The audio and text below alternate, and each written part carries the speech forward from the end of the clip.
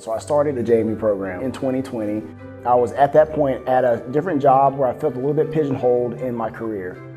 The program allowed me to be able to have the opportunity to contract with my current employer now. So I currently work for an organization called the Oak Ridge Enhanced Technology Training Center. I'm the instructional technology lead. And because of going through JMU, it opened up the opportunity for this role.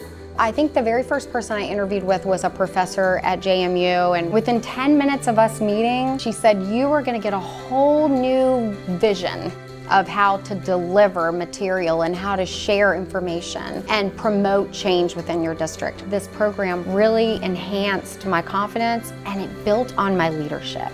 The program was online, so it allowed me to work full time. While I was in the program, it was remarkable how much synergy there was between what I was learning at JMU and what I was doing on the job. When I looked at the curriculum, it was everything that I wanted. I remember getting goosebumps, and I remember calling my wife right after and saying, I think this is the program that I need to be in.